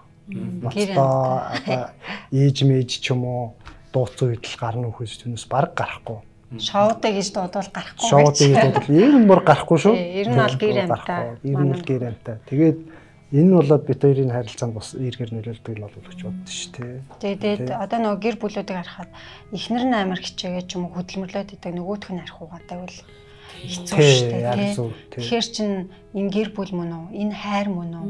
Тэ гэж асуумаар санагдчихаг. Одоо би эхнэртэй хайртай гэсэн мөртлөө эхнэрээ барь зодоод байдаг хүмүүс те. Тэгэн гутаа би чамдаа хайртай ирүүл болохоор энэ хайр биш л ахгүй яг үндэ те.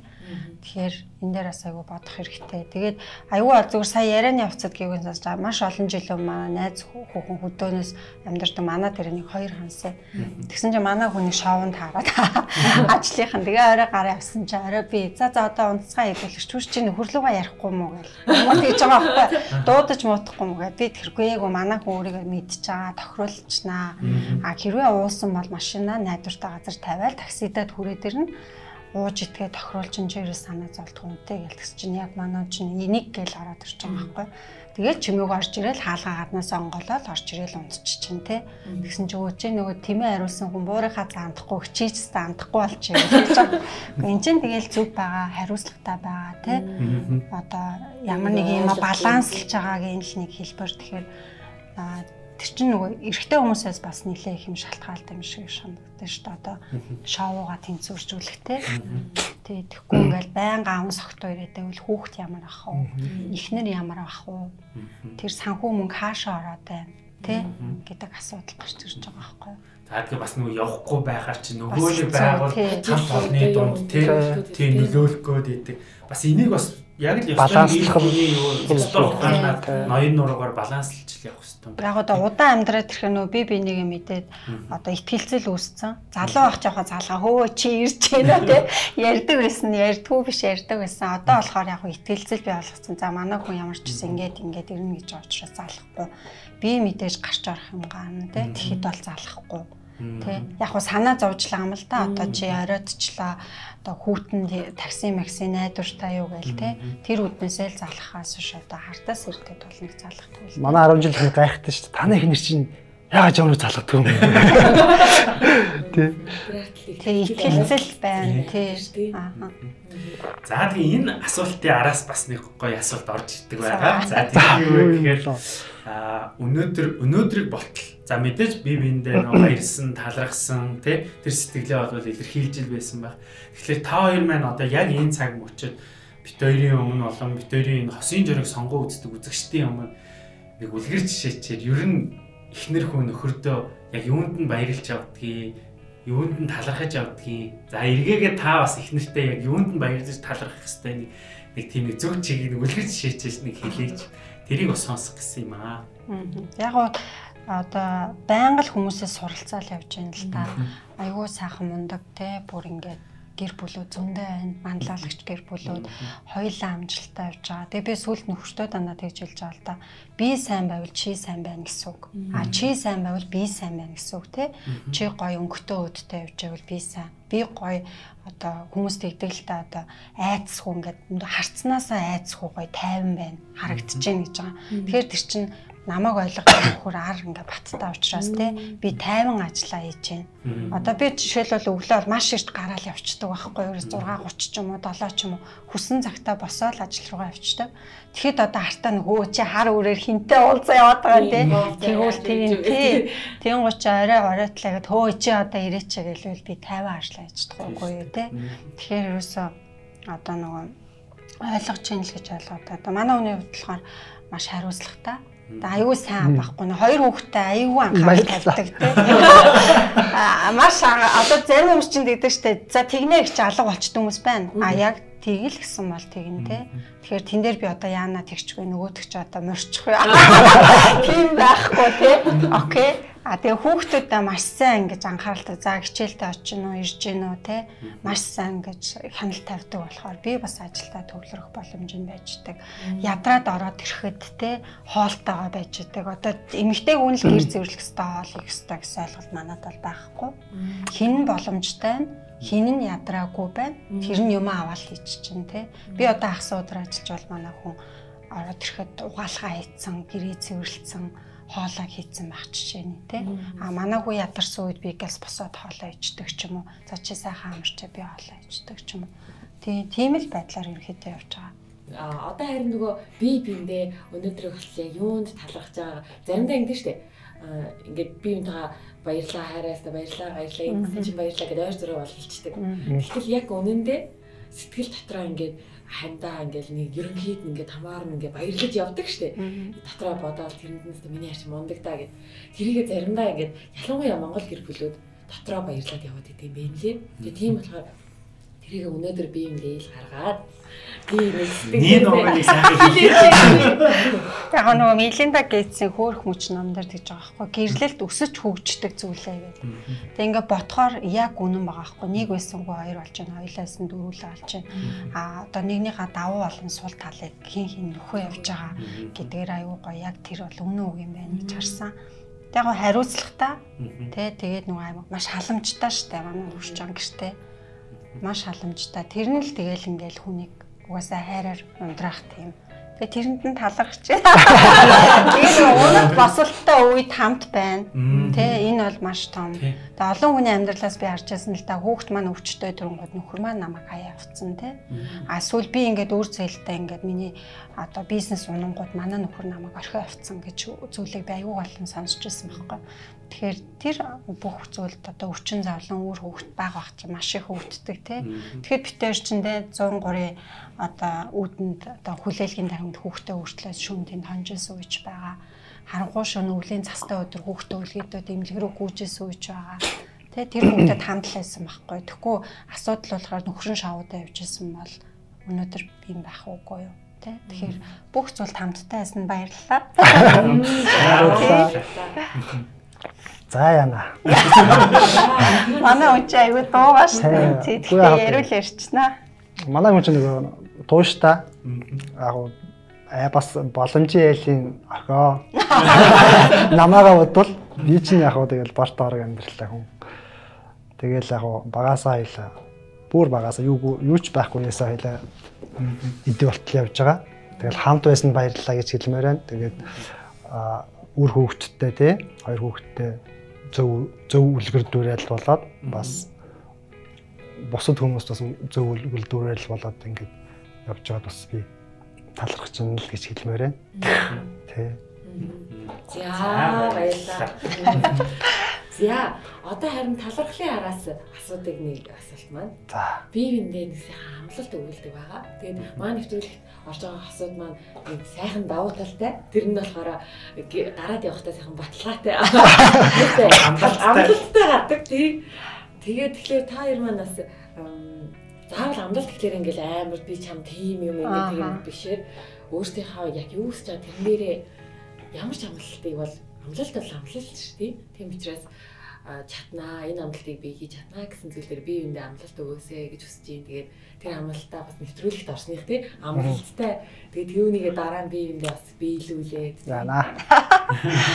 Яг гоо тэгээд нөгөө нэг угаасаа хамт амьдрах нь тодорхой тий. Аа би биендээ мэдээж гэр бүлээ бат бих байлгах нь бол угаасаа бүх юм ингээд зөв явах нь тодорхой л гэж бодож ш. Тэгэхээр би бол зөвхөн гэр бүлээ илүү гоё одоо үр хөвгтэй амжилттай боловсралтай байлгахын тулд хичээнэ л гэж хэлмээр байна. Илүү хичээл зүтгэл гаргана, илүү хөдөлмөрлөн тий. Одоо надаас юу гарахын тэргээ шахах, өөрийгөө боловсруулъя. Тэгээ нөө манайхан ч юм болохоор жоо ингээд 40 гарч юм уу 45 хүрэн гот өө би хөшөрцөө одоо тэгээ бараг тэтгүүр яриад эхэлдэг. Би бол энэний эсрэг байр суурьтай байдаг. Хүн хөшөрсөн ч гэсэн одоо 50 гарсан, 55 хүрсэн, 60 хүрсэн үр хөвгтэй байнга ингэж нөлөөлөхөөс гадна ач зээнтэй хүн нөлөөлөх ёстой шүү дээ. Тэгэхээр хүн байнга суралцагч байх ёстой л гэж боддог байхгүй. Тэгэхээр би байнга суралцагч байна л гэж амлая дээ. Тий.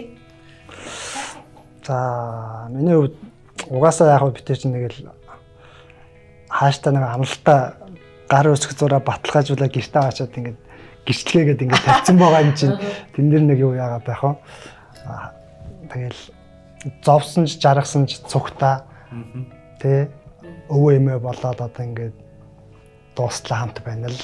Гэж амлаа. Тэгээ бас үр хөвгтдээ зөв зөв үлгэр дуурайл үзүүлэх тэр тал дээр бас хичээж явах болноо. За баярлалаа. Ямар гоё тийм. Одоо яг нөгөө нэг юун дээр зэрэгтэй нөгөө өмнө нь битэр дандаа нөгөө сошиалар ингээд би нэг холоос хийх үү. Айл нөгөө хос маань талаараа гэртээ юм өөрний газар битэр бас гэртээ холоос ирдэг байсан хгүй. Одоо яг ингээд амдаараа ингээд зэрэгтэй ингээд ярангууд нөгөө хачнаас одоо тэрэл тэрэл тэгээд шүү дээ. Би нөгөө мэдрэмж бас айгу өөр гастай яг тийм шал өөр шүү дээ. Би би харах хоёр ч шал өөр. Тийм үү шал өөр мэдрэмж байдаг юм шүү тий. Тэгээд яг гоё мэддэг юм байна. Би зүгээр энийг далимтлаад нэг юм хэлээд нэг одоо хүмүүсийн хандлага гэдэг дээр л нэг юм хэлэх гээд байна л да. Зөв үлгэр дуурайлгаа сайн нэг хэлсэн. Төрөө манаг үн хэллээ. Өөртөө л үлгэр дуурайл болохгүй л хүүхдүүд чинь ямар байх вэ тий. Одоо жишээ нь зүгээр ингээд Германд явж байхад одоо нэг урсдаг чатаар ингээд явдаг шүү дээ. Та нар мэдж байгаа тий. Тэгээ явж байгаа чинь тэр чинь ингээд нэг талд нь ингээд зогсоо явдаг. Нөгөө тал нь зай гаргаад яарсан хүмүүс ингээд тий. Тэр чил бас нэг соёл шин. Манад бол тийм юм байхгүй шүү дээ. Тий. Тэгэхээр одоо ингээд хүүхдээ бид гэдэг хог гаргаад аччих гад. Тэгээ араас нь би хай нэг симхэ харддээ. Орчинд ачиж гин үү? Хаана ачиж гин үү? Тэнгууд аашаад хогийн пөнх рүү яг хийж байгаа. Энд чинь л бас би хүүхдээ зөв үлгэр дуурайл үзүүлж байгаа юм болов гэж боддог байхгүй. Би бол орчинд хэзээ ч хог хайж үзээгүй.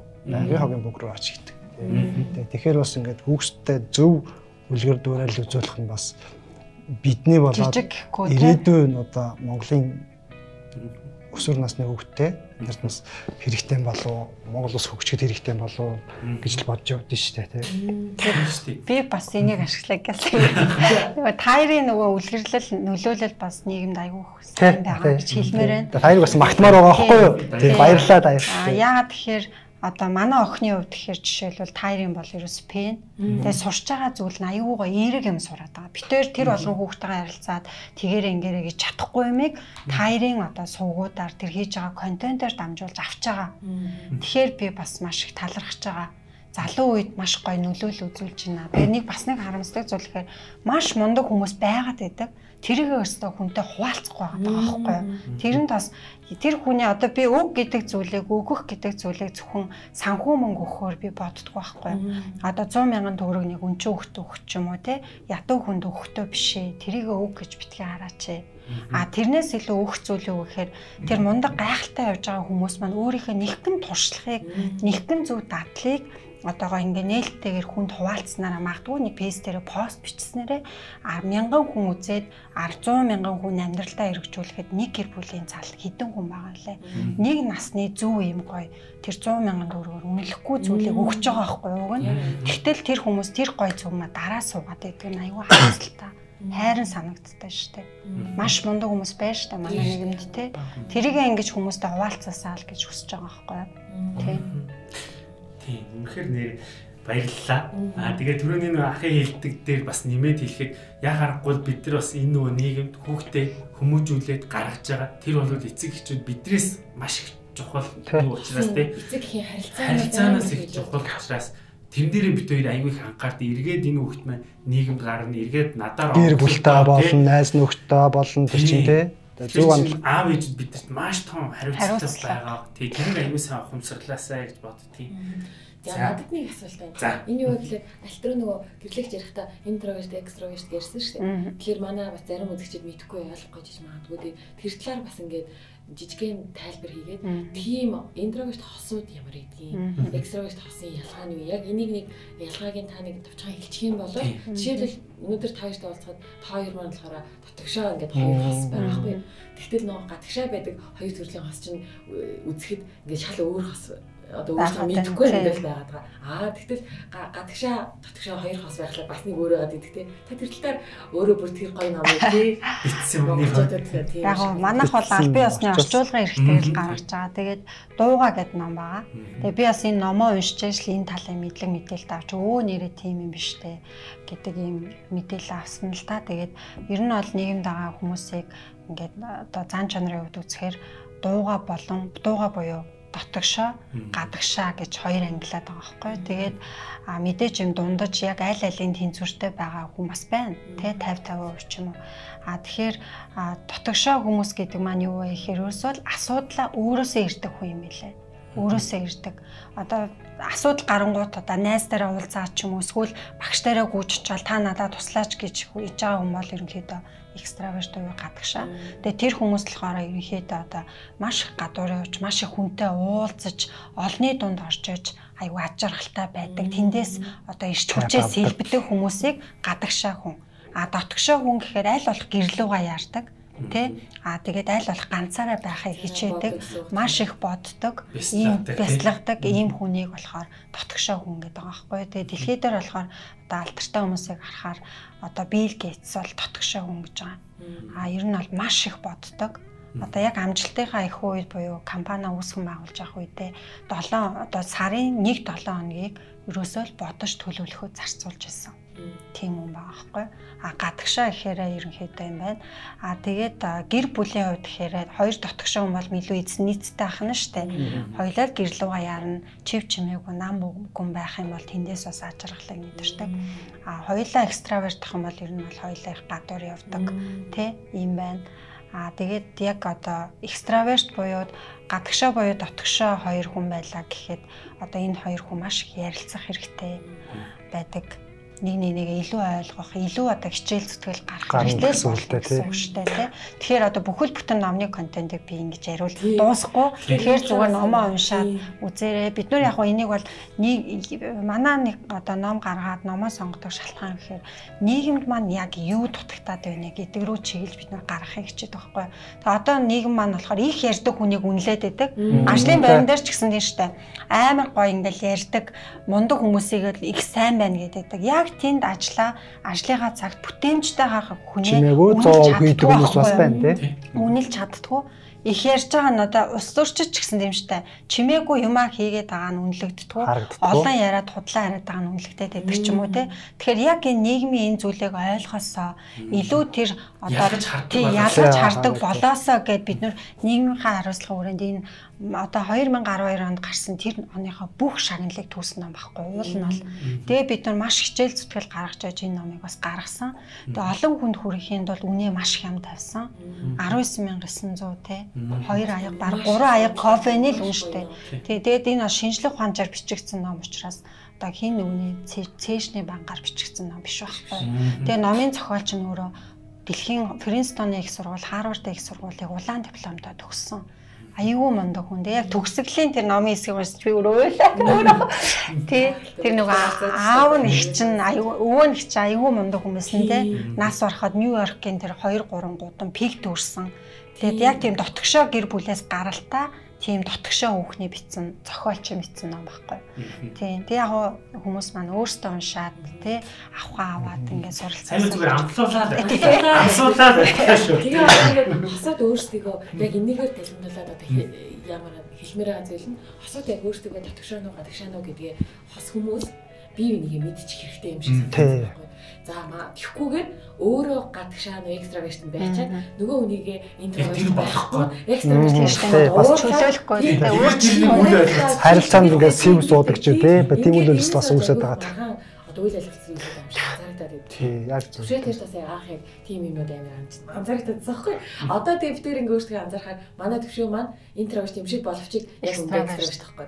А би болохоор гаднаас харахад экстраверт юм шиг боловчиг интроверт байхгүй. Тэгэхээр нөө би нөгөө чимээгүй байж ингээ ерөөсөө өөрийгөө төвчиж ингэж ингэж бодож ингэж байхыг л хүсээд байдаг. А тэгэнгүүт нөө тэр болцоонд гарах манай хүмүүс болохоор ингээ маш хүмүүстэй уулзаж ингэж яг юу н орж ирдэг. Энерги одоо тэр бүх кайф. Тэгэхээр бид тэр энэ тал дээр ингээ анхандаа бол амар их маргалддаг байсан. А тэгээд одоо хэлэх гээд байгаа зүйл нь гадагшаа татгшаа байгаа хүмүүс ч гэсэн биеийнхээ ингээ учрыг олоод явах юм бол ойлголцоод оршиж болдог юм байна. А хоёр экстраверт бол бүр хурдан ойлголцож болно. Хоёр интроверт өгдөг. Тэгээ чи болохоор нөгөө номоо уншсан болохоор яг нэг жишээ байсан шүү дээ. Аль аль юм нэ. Тэгэхээр бас А энэ ном болохоор яг зөвхөн нэмээд хэлэхэд зөвхөн одоо хосуудын харилцаанаас гадна үр хөвгтэй таньж мэдхэд тэднүүрийгээ илүү дэмжихэд аюул чухал тий. а чухал. А дээр нь ажлын байран дээр одоо удирдлага хүмүүсийг би заавал уншаасаа гэж боддог байхгүй. Бизнестэй эсвэл компани захирагч юм уу. Одоо бага зөв танихад үнэлэхэд одоо сайн ажиллачаад яагаад ажлаасаа гардаг вэ гэхээр үнэлж чаддгүйс буруу үнэлүүлснээс те. Худлаа ярьдаг нь үнэлүүлээд тахаа нөгөө чин сэтгэлээсээ ажиллаж байгаа хүн чинь гараал явчихдаг байхгүй те. Тэгэхээр энийг таньж мэдгээд бас аюу чухал үүрэгтэй гэж бас хүний нууцынхаа нөгөө салбарт ажиллаж байгаа удаас онилж гаргасан ном гэх юм уу? Тийм за харин асууч. За одоо бас нэг энэ асуулт өмнө байгаагүй. А тэгээ сүүлийн хідэн одоо баг сүүлийн 10 дахь дугаараас ихтэй орж ирсэн асуулт байгаа. Хосууд маань энийг ингээ заавал асууж өгөөч. Энд оролцож байгаа мундаг хосуудаас асууж өгөөч. Яг гэхээр энэ энэ одоо зүйл яг харахгүй хосын бидний амьдралд ингээ нөлөөлөд байна. Харилцаанд их нөлөөлж байна гэдэг байгаа учраас тэгэхээр а энэ ямар асуулт вэ гэхээр санхүү байгаа. Тэгэхээр өнөөдөр бид нар яг энэ 21-р зуунд бид нар яг энэ гэр бүлийн санхүүгийн асуудлыг бид нар яг яаж зохицуулж явах хэвтэй эмэгтэй барай явах хэвтэй, эрэгтэй барай явах хэвтэй, эсвэл хамтдаа орцох хэвтэй, эсвэл ингэ Европ шиг ингэ тус тусдаа явах хэвтэй. Тэр бас хэцүү тийм. Тэгэхээр та хоёрын хувьд энэ чэнэс яг бүр нийн нуугу ярихгүй ч гэсэн ер нь нэг баримжаагаар нэг нууц биш бол нэг хилээд өгөөч тийм. Ингэжүүл зүгээр юм биш. Ингэжүүл ер нь зүгээр. Би ихлэ чи тэгээд бэлгэрүүлчих. Тэгээд яг хоо санкугоо тэгээд энэ чинь нэр нь гэр бүлийн харилцааны чухал асуудал шүү дээ тийм. Ер нь л тэгээд яг хоо мөнгө төгрөгийн хувьд болохоор яг хоо миний дас руу орж ирдээ. Байгууллагын дас руу орж ирдэг. А хяналт бол манай хүнд байгаа ер нь бол.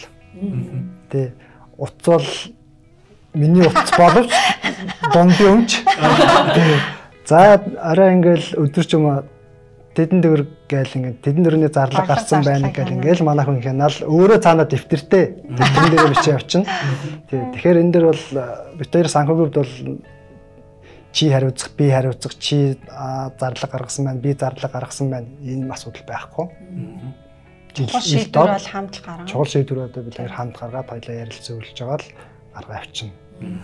Аа хадгаламж энэ төрлийн хувьд болохоор яг уу манай хадгаламж чинь бас жоохон хэцүү шттэ. Одоо ингээ хадгаламж хийлээ гэхэд банкны юм ярих гэдэг юм л да би. Хүүхдийн хадгаламжаас жишээ нь одоо нөгөө шимтгэл имтгэл авчдаг ч юм уу. Энэ яг уу том асуудал болол том асуудал ярих гэж явчихад байгаа. Яг тэрнээс ирэх өгөөч нь л баг гэж хэлэх гэж байна. Тийм. Ядаж л хүүхдийн хадгаламжаас хүү авдгүй ч юм уу шимтгэл авдгүй байвал бас зүгээр ч юм уу гэж бод. Яг Хоромтлын хувьд яг хоёр хүүхдээр нэг жоохон жоохон хоромтлол байгаа. Өсгөцөл байгаа. Тий. Одоохондоо яг өөртөө хоромтлол нэг ахтар өсгөж чадаагүй. Ингээл явж байгаа. Зүгээр нэгтгээд хэлэхэд бол амжиргааны өдөр тутмын зүйл гэх юм зардлуудыг бол угаасаа ингээл хин хин шаардлагатай үедээ гаргаа явчихна. А томоохон зардлуудыг бол мэдээж ярилцж байгаа шийдвэр нь энэ үнэхээр чухал уу, чухал биш үү? А манай гэр бүлийн баримталтай нэг зарчим гэх юм бол бид нар зардлаа майл болох маш бага байлахыг хичээдэг. А хүнд харагдах байдалд мөнгө зархаасаа илүүтэйгээр а биднэрт урт хугацаанд өгөөж өгөх зүйл маань юу вэ гэдэг дээр аль болох санхүүжилттэй хийхийг хичээж байгаа. А яагаад тэгэхээр одоо манай нийгэмч юм бол хүнийг ингээл өө энэ үнэтэй цаг барьсан мэн үнэтэй цүнх барьснаар нь хүнийг үнэлээд байгаа. А тэгтэл бол яг үндэ бол тийм биш шүү дээ. Тэгэхээр тийм лөө манайхан хич шуураад байгаа юм болов уу? Хитрхи материалын зүйл хөрөн мөнгө төгрөгөө өрөөд одоо нөгөө ийм нэг судалгаа авахгүй 3 сая төгрөгөөр байгууллагад ажиллаж байгаа хүн гар утас авчирна гэж байгаа байхгүй iPhone. А тэр хүн дараа нь ингээд нөгөө төлөө дуусгаад 2 жилийн дараа ч юм уу жил ахсын дараа төлөө дуусгаад 6 сая төгрөг хүрч ийн гэж байгаа байхгүй одоо хүүтэй. Тэгэхэд энэ үнэхээр танд хэрэгтэй юу те? А тэгтэл бид нар аялал гэхээр за одоо энэ хүн ингээ гадаад явж байгаа нэг л нүсрээр бодоод байдаг. Яг үнэхээр урт хугацаанд төлөвлөөд эртхэн ингээд бүх төлөвлөлтөө их юм бол маш их юмдаар аялах боломжууд маш их байгаа. Тэгэхээр одоо юунд хөрөнгө оруулах уу гэдгээ тухайн гэр бүлийн үед юу үн цэнтэй юуг чухал гэж харж байгаа гэдэг зүйлдээ ингээд санхүүжилтаа хийгээд явбал илүү гоё байх гэж бодож байна. Тэгэхээр бусдад харагдах байдал материалын зүйлээ танаасаа а илүү гоё эрүүл хооллох те гэр бүлийн соёлоо гоё ойлгох одоо тэр сүлдээ тий дурсамж бүтээх нь одоо хамгийн чухал юм болов уу гэж бодож. Одоо манай бид нар одоо би ч гэсэн буцаад ингээд бодохоор Өө би тэр үед чинь нэрээ тийм хувцастай байсан шүү дээ. Тийм брендинг өмссөн мессеж гэж хүн сандгүй л байхгүй. А харин тэр үед би ямар гоё ажирхалтайсан. Би хинтээ уулзаад юу яриа тэрнээс би юу сурсан бэ гэдэг нь л маш том үнцийг бүтээдэг шүү дээ, тий. Тэгэхээр тийм л зүйлийг бас ингэж үнэлэмжээ болгож яваасаа. Тийм. Тэгээд манай нөгөө ээжүүдийг ингээ харж байхад одоо юм сэл рүү аягүй шуурдаг тий. За энэ ингээ биелэг зарлцсан Тэр нь л айгүй яг үндэ бол тэнд таны маш үнцэнтэй цаг хугацаа гэдэг зүйл явж байгаа байхгүй тий. Тэгэхээр хувь хүний тэр нөгөө гэр бүлийн сахилах бат гэдэг зүйл дээр л одоо санхүүгийн сахилах бат гэдэг зүйл дээр аюулс анхаарах хэрэгтэй юм болов. Хэрэггүй одоо нэг цүнх байх чинь заавал гурван цүнхтэй ах хэрэг байгаа юм уу? Тэ? Тийм. Тэгэхээр тэн дээр аюулс анхаарах хэрэгтэй юм болов гэж байгаа. Тэгээ яг гоо битэр жилийнхаа одоо ингээд нөгөө жилдээ яг ийм хэмжээний ер нь төлөвлөлт хийн л те. За ийм тэрнийхээ одоо 10%-ийг ямар ч байсан жилдээ гэр бүлдээ нэг удаа аялалд 10% зарцуулъя. 10% хүүхдийнхээ бол усрал зарцуулъя. За магадгүй 10% сэвлээ. А тэгээд одоо чухал зүйлдээ хөрөнгө оруулалтаа хийч гэдэг юм ингээ явж байгаа. А тэгээ ерөнхий төлөвлөлтийг бол би гаргаад тэгээд нөхөртөөгөө би ингэж бодож байна. Чи юу гэж бодож байна гэнгүүт манай хүн саналаа хэлээд тэгээд нөгөө яа тэгэхээр эхнэр нөхөр хоёр хүн нэг алсын араатай нэг бодолтой нэг чигт харж ээж гэр бүл тэнцвэртэй явна л гэж боддог байхгүй юу. Ямар гоё бэ тий. Мэдээгүйсэн юм а бас мэдээд авчлаа. Аа зөндөө бодох юм гарлаа. Аа. За миний харин дараагийн асуулт. За дараагийн асуулт гэхээр би одоо төгсгөлийн асуулт асуух гэдэг. Миний хард асуулт ба аа төгсгөлийн асуулт асууж асууж. За за төгсгөлд нь би яг юу гэж асуумаар байна вэ гэхээр та хоёрын хосын харилцаанд нөлөөсөн хүнд ч юм уу аль эсвэл одоо өрөө хүүхдүүдтэй хандаач гэдэг юм уу? Энэ маань ингээд одоо бид хоёрын онлайн хуудас дээр ингээд хадгалагдсан үлдэн. Магадгүй 5 жилийн дараа 10 жилийн дараа үзэхэд те эн чинь бас ингээ гой дурсамж бүтээж байгаа байхгүй те. Тэгэхээр одоо хүүхдүүдтэй зориулж юу гэж хэлэх вэ? За мөн бас хоёрын хосын харилцаанд нөлөөсөн тэр улсуудад бас юу гэж хэлэх вэ? Хэрвээ тэр улсууд байдаг бол те Энэ дээр зөвөр нөгөө нэг хосын харилцаагаар би нэг юм ярмаар санагдаад байл та. Нөгөө одоо ингээд эфэм маратонууд ч юм уу юунууд руу ингээд шууд нэвтрүүлэг хүмүүс уцтаал би нөхөртөөгөө ингээд муудалцсан. Манай нөхөр ингээд байна. Манай эхнэр ингээд байна. Битээр би яах вэ? Гэж асуудаг байхгүй. Би бол тэрний эсрэг байр суурь тадаг. Нөгөө тоогоо юу л олгоо гаргаж тоогондоо тий. А таяр өөртөө л эцээ эст яг гэр бүл болох шийдвэрийг таяр өөртөө л гаргасан. Таяр өөртөө л хайрлаж дурлцсан тий. А тэгэхээр таяр л өөртөө асуудлаа шийдэх ёстой. А тэгтэл хүн хүнд ярихдаа одоо найздаа ч юм ярихдаа өөрийгөө өмгөөлж ярьдаг байхгүй. Нөгөөтгөө одоо тий харлуулж. Тийм бол нөгөө хүнийхээ өчигдүүл салтай иршиглэн штэ ч гэдэг юм уу тий. Тэгэхээр эцээ эст бол таарын түлхүүр та хоёр дотор л байгаа байхгүй. Тэгэхээр хин нэгнээс тэгж асуулт ирж ин гэр бүлийн асуудлаа битгий яриасаа. А зөвхөн өөртөөсөө дотроосоо ирээсээ тэгээ яг одоо ингээ нөгөө гэр бүл сүлөө цалтай өндөр байгаа гэж байгаа ш тэ. Тэр салах мөчт хэрвээ хүрч байгаа л ямар ч гэр бүл хизээч эхлэхдээ битээр сална гэж суудгүй л ахгүй тийм үстэй ажиргалтай амьдрын гоё айн гэж л хайран дээр умбаж сууж байгаа те. Тэгэхээр чин яг тэр мөчөөл эргэж санаасаа гэж санаасаа гэж бод хэлмээр санагддаг.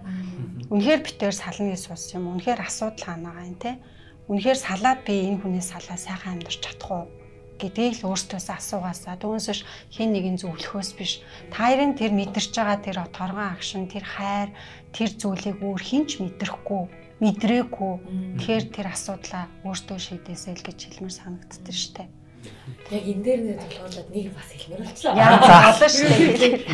Өөртөө асуудал шийдэж сурахгүй бол одоо л эртхэн сурахгүй бол уртын хугацаанд дахиад үйл болцох юм байна. Амьдрал хэмжээний янз янзын зүйл тохиолдно. Тэр үед нөө нэг өмнө нь асуудлаа шийдэж өөртөө шийдэж сураагүй хүн хүнээс асуугаад сурцсан бол нөгөө асуудал гарах юм бол дахиад тэрнээр ингээд энэ байдал ингээд насаараа хайн байх хугацаанд хамгийн ирээдүйд ингээд бодгоор чи нэг 30 40 гарчаад дахиад хүмүүсээс асуугаа яваад гэх юм. Тэгэхээр хосын харилцаа үүсэл гэр бүл хэлсэн л бол хоорондоо сайдсан ч муудсан шийдэгдэхгүй байсан ч хамаагүй. Хаста нөгөө олгоо агарч тоон дотроо хоорондоо шийдэж сурах хэрэгтэй. Суран сурчлаа тэр ингээл асуудал болно. Угаасаа л асуудал хүндрэн тий сурах хэрэгтэй юм байл гэж бодоод байгаа шүү дээ. Тэн дээр бол айгүй имзгэлдэг шүү дээ. Тэгэхээр бид нар өөрсдөө айгүй ингээд доогор байна л гэсэн үг байгаа байхгүй тий. Маш сайн унших хэрэгтэй. Хэрэгтэй нь бусад мундаг гайхалтай хөдөлмөрч амжилттай явж байгаа хүмүүсээс бид нар маш сайн суралцах хэрэгтэй. Бид нар бол яагач байгаа шүү дээ тий. Аа тэднээс л айгүй сайн суралцаж ажиглалт хийх хэрэгтэй л гэж бодоод байгаа шүү. Тий. Аа надад одоо ингээ хүмүүсээс асуумаар нэг зүйл байгаа байхгүй юу? Хүн танаа гэр бүлийн хосын яг жор юу вэ? гэж ингээл асуухад хүмүүс ингээл тийм юм юм ингээл ярьдаг л та. Гэхдээ ингээ одоо ингээ бодоод тахлаар хүмүүст яг ингээ жоо байгаад байгаа байхгүй юу? Ганцхан ингээл нэг зүйл биш. Манай гэр бүл дээр ихтгэлцэл байдаг.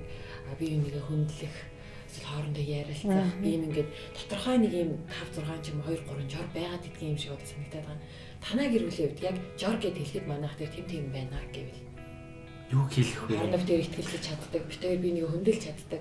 Энэ маань ингээ яг би гэр бүлийн маань жорт ингээ байгаа гэдэг. Яг хоо энэ ярианы дунд бол ерөөдөө бид нар ярьчлаа тийм сайн чиний хэлсэн дээр юмнуудыг яг энэ дэр хэлэхэд эрэгтэй хүн яг нэг гэрийн өрх тэргүүн гэдэг утгаараа бас нэг жоохон өөрийгөө дээгүр байх хэрэгтэй гэдэг ч юм уу. Тиймэрхүү байдлаас бас харилцаа жоохон сэв байд юм болоо гэж боддتي.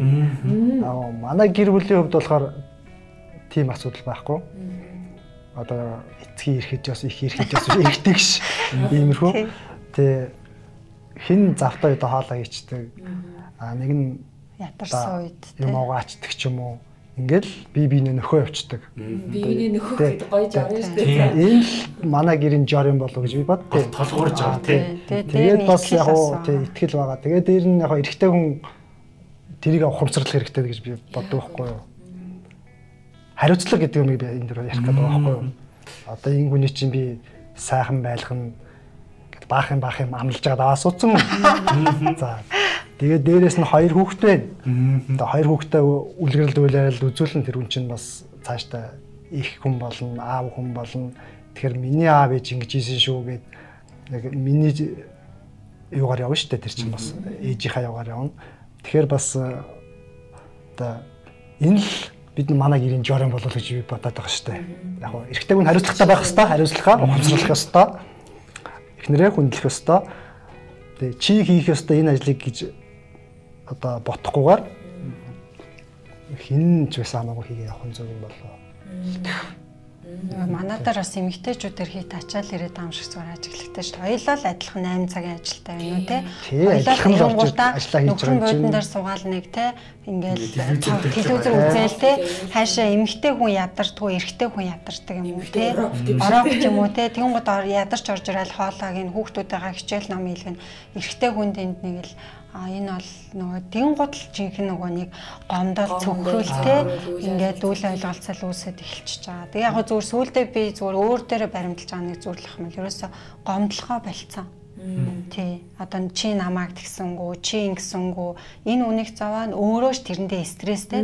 Тэгэхээр ерөөсөө би өглөө босоод би болохоор өглөөний цагт маш бүтээмжтэй байдаг байхгүй. Тэгээд өглөөний гамшиг номоо угаасаа олон түнгөө түгээж байгаа групп хөтлөө явж байгаа учраас аль болох өөрөө бас би үлгэрлэж өөрөө тэргээ хэрэгжүүлж амьдралдаа үр дүнгээ хүргэдэг байж би хүнд ихтгэл төх санал болгоно тийм болохоор өглөө маш их тосол гараа авчдаг.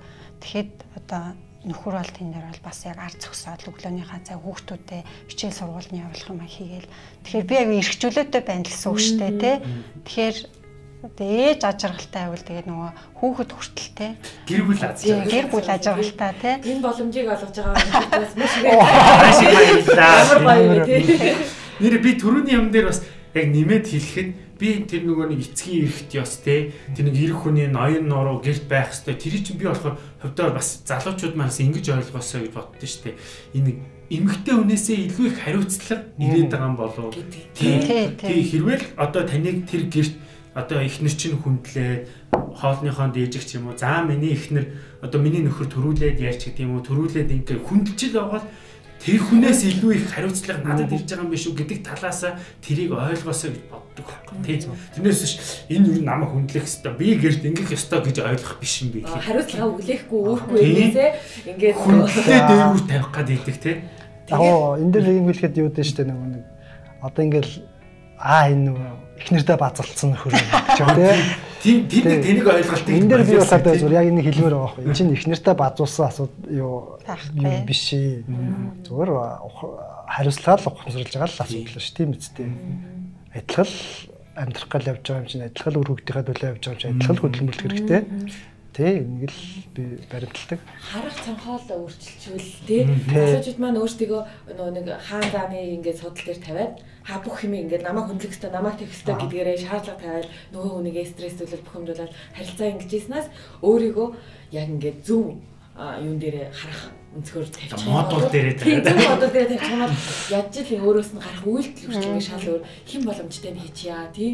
Тэм донд мэдээж хүндлэл оршиж байгаа. Мэдээж тэм донд аль альгийн хариуцлага нь оршиж байгаа. А гэхдээ айл боломжтой нь хийе, айл боломжтой зохицуулчаа гэсэн энэ харах цанхоол хэрвэл одоо эхнэрээрээ би бүр тэгж хэлмээр хэрвэл эхнэрээрээ та хүндлүүлээд энэ хүнээр одоо тэ үнэлүүлмээр байгаа бол энэ хүний хийдэг энэ хүнд маш сайн тусалж. Тийм бол өөрөө ирэхгүй энэ үн чинь таныг тэр хүндлээд хайрлал ирдэг юм бэл. Энэ бол манай гэр бүлийн бас нөгөө нэг төвшөөтэй таашлаа нэг хайлт уулзж байгаа тэр төвшөөгийн эсөө бүр би ингээд надад аюу хүрсэн. Сэтгэл төрсөн байсан мэхээр би дүлгөөнийхаа ядаг тэр номын одоо тэр нэг ном номоор подкастыг аюу дуртай. Тэрийг гоё дэмжээ юмар байна. Энийг бас би бас ингээ орхитуулмааргүй байна гэдгсэн. Тэр нь амар гоё юмсан. Дээр нөгөө хайраа охиндоо битгий санаа зороо болно штэ гэл. Тэр бас аюу гоё те Тэр чинь ингээд а бас ингээл тэрнээс би чинь бас суралцаал гарч байгаа байхгүй тий энэ мундаг байш шүү гэд. Зөв энэ дээр нэмж хэлэхэд нөгөө манайхан зоосны нөхөрийг хараад байт юм болов а би олж байгаа. А би одоо гэр гэр бүлийнхаа өрхийг өрхийн орлогыг ихэнх бүрдүүлж байгаа гингуудаа эмгтэйгээ жоохон одоо эхнэрээ гэрийнхаа ар гэрийнхаа ажлыг аваа явж байгаа эмгтэйгээ жоохон ингээд ихнэрээ доошлуулад байдэм болов тэр мөнгө олж байгаа дүнгээрээ илүү далаалгаад байгаа юм болов тэгтэл гэр бүл гэдэг чинь юу билээ гэдгээ бас аюу сайн олж хараасаа тий гэж хэлмээр санагддаг. За за баярлаа. Ярьлаа. Ингээл яриад юм яриа.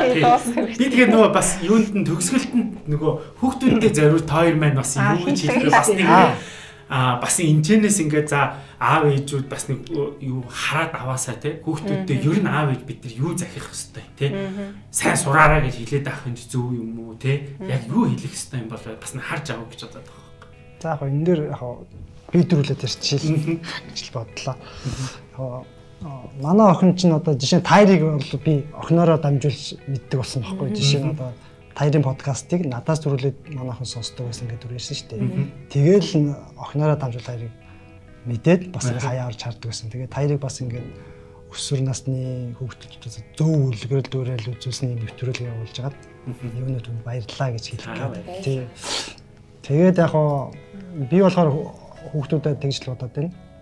Эерэг зөв хандлагатай л хүн байвал ер нь болчих юм болоо Тэгэл одоо боловсралтаа тий ер нь бол боловсрал чухал байгаа байхгүй тий боловсралтаа эерэг боловсралтай байгаад сөрөг хандлагатай байвал бас хэцүү юм лээ. Тэг хол явахгүй юм лээ. Тэгэхээр эерэг хандлага гэдэг л зөвлөл чухал юм болоо. Би одоо их нэртэй хэлэх гээд байгаа.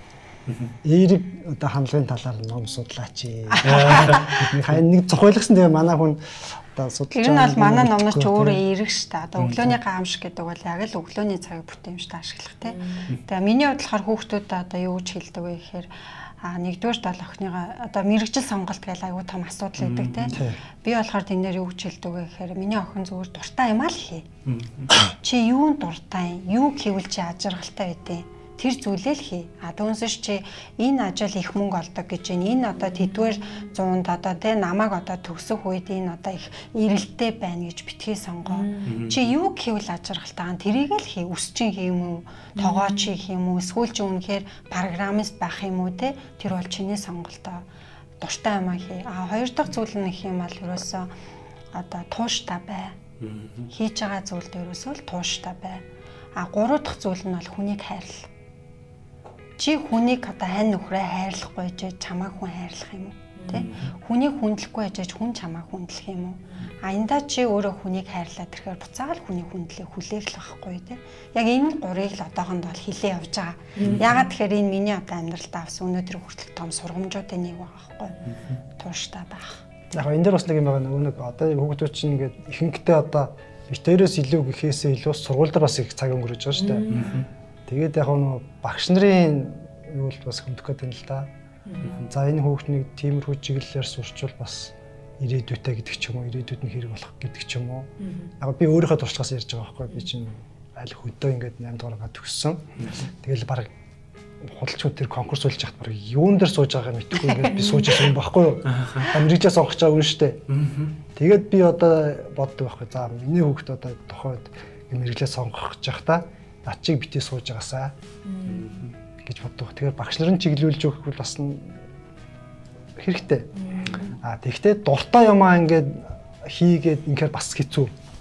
Тэр чинь одоо яг сэтгэлийнхээ хөөрлөөр ч юм уу тий бас ингээд буруу юм руу ингээд орчих магадaltaй. Тийм учраас багш эцэг их хоёр л одоо чиглүүлэх тий ингүүл миний охин одоо чи зөв явна гэдэг ч юм уу тийм чиний амьдралд хэрэг болно. Энэ рүү нь бас чиглүүлж өгөх нь зөв юм болов. Тэгэл хоёр хүүхэдтэй одоо эерэг зөв хандлагатай боловсралтай сайн хүн болоораа л гэж л захимаар байна да.